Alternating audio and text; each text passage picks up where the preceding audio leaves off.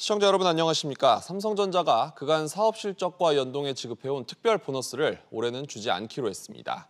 3분기 역대 최대 실적을 기록한 만큼 임직원들의 기대감도 컸는데요.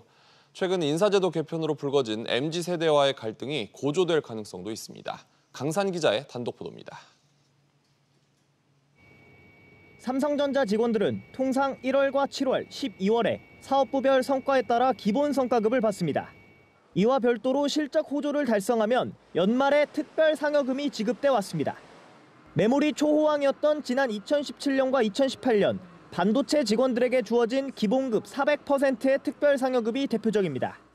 지난 3분기 삼성전자는 코로나 여파 속에서도 반도체 실적 고공행진에 힘입어 사상 최대 매출과 역대 두 번째 영업이익을 기록했습니다.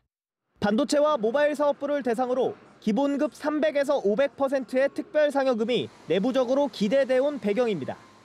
하지만 삼성전자는 올 4분기 특별 보너스를 지급하지 않는다는 방침을 세웠습니다.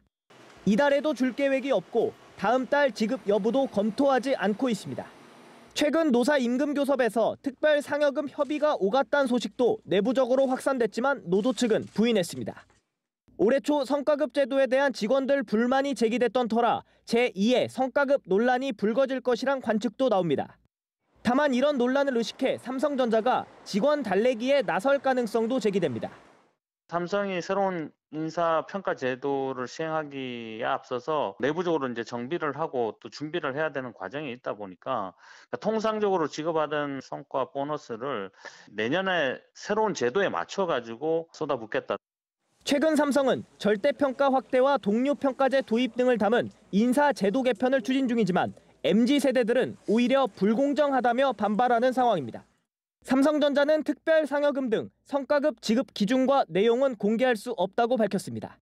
SBS 비즈 강산입니다.